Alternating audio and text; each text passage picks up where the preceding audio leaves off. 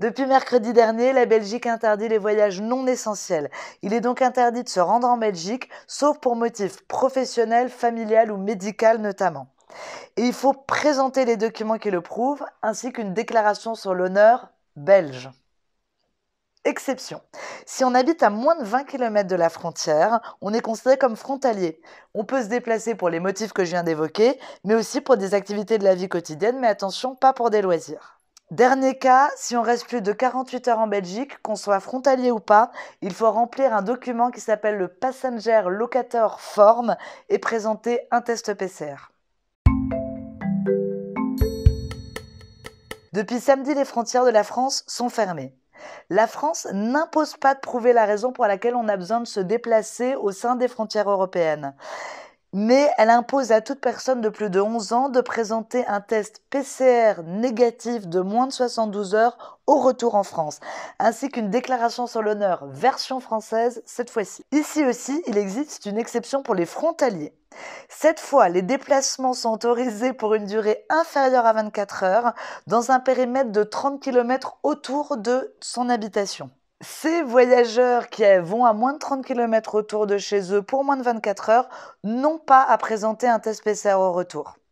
C'est aussi le cas des travailleurs transfrontaliers et des chauffeurs routiers qui n'ont pas à présenter ce test PCR. La dernière chose avec laquelle les frontaliers doivent jongler, c'est les horaires de couvre-feu. Donc on le sait, le couvre-feu est à 18h en France, en Wallonie il est à 22h et en Flandre belge il est à minuit. Alors comment s'y retrouver? Si vous vous posez une question sur votre déplacement qui inclut un passage à la Belgique, je vous invite à vous poser deux principales questions. D'abord, est-ce que mon motif est valable pour me rendre en Belgique?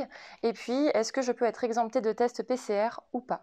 Prenons le cas d'un papa qui habite euh, Bruay-la-Bussière et qui doit aller chercher sa fille euh, chez sa maman dont il est séparé, qui vit en Belgique. Alors, est-ce que c'est un motif valable aux yeux de la Belgique? Oui. Euh, on peut se rendre frontalier ou pas, on peut se rendre en Belgique pour aller chercher son enfant ou le déposer chez son autre parent. Deuxième point, doit-il passer un test à son retour?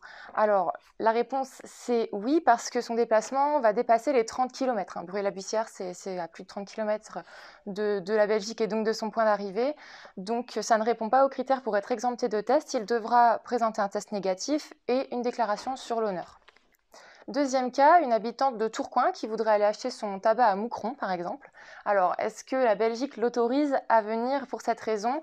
La réponse c'est oui, parce qu'aux yeux des Belges, elle est considérée comme une frontalière. Elle habite à moins de 20 km de la frontière. Elle peut donc continuer de se déplacer pour euh, voilà, des choses de la vie quotidienne, euh, acheter des courses alimentaires, du tabac, etc. Donc pour ça, c'est possible. Est-ce qu'elle va avoir besoin d'un test à son retour? Alors, la réponse ici, c'est non, puisque euh, pour faire des courses, ça durera moins de 24 heures et qu'elle ne va pas dépasser 30 km. Hein. Tourcoing-Moucron, ça ne dépasse pas 30 km autour de son domicile. Donc pas de problème, elle n'a pas besoin de test pour rentrer.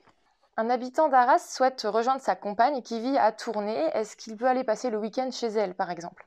Alors, aux yeux de la Belgique, euh, oui, c'est possible. Frontalier ou non, encore une fois, euh, c'est un motif dérogatoire, un motif essentiel. Donc, il peut s'y rendre, muni d'une attestation, d'une déclaration sur l'honneur belge. Et puis aussi de preuves qui montrent que cette relation est euh, une relation de long terme. Hein. C'est ce qu'indique le ministère des Affaires étrangères belge. Faut-il un test au retour en France? Euh, oui, dans ce cas-ci, euh, parce qu'il aura dépassé le rayon de 30 km autour de son domicile. Là, il va aller la rejoindre euh, à tourner, donc c'est trop loin. Même s'il raccourcit son séjour qui va durer une après-midi ou moins de 24 heures, il faudra quand même un test parce qu'il dépasse le rayon. Prenons le cas d'un Lillois qui a un rendez-vous professionnel à Bruxelles.